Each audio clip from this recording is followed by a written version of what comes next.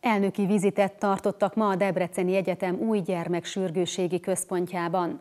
A gyermeksebészeti fekvőbeteg részlegen múlt héten indult el az ellátás. Az új helyen évente több mint 1300 altatásos műtétet terveznek a legkorszerűbb körülmények között. Júniusban vágták át a szalagot a Debreceni Egyetem gyermeksürgősségi központja előtt. A legkorszerűbben felszerelt új épületben két-három ágyas fürdőszobás kortermeket, két műtőt, vizsgáló és kiszolgáló helységeket alakítottak ki, több mint három milliárd forintból.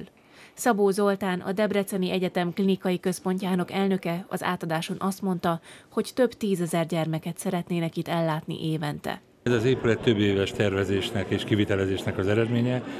Azt tervezzük, hogy legalább 50 ezer gyermeket fogunk itt évente ellátni különböző akut, tehát hevenyen fellépő problémákkal. A gyermeksebészeti fekvőbeteg részegen múlt héten indult el az ellátás. Szabó Zoltán ma elnöki vizitet tartott, hogy megbizonyosodjon, minden rendben működik-e.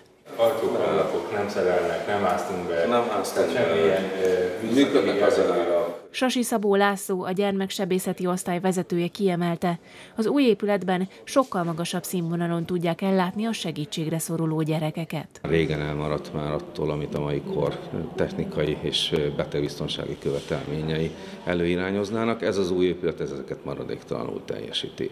Nagyobb lett, szebb lett, tisztább lett, biztosabb lett, jobban van felszerelve, tehát azt gondolom, hogy egyértelműen egy magasabb szintű ellátást fogunk tudni biztosítani. Az új helyen évente 1300-1400 altatásos műtétet terveznek. A 15 ágyas gyermeksebészeti részleget az új gyermeksürgősségi központ első emeletén alakították ki, és az épület mentőbejárata felől közelíthető meg.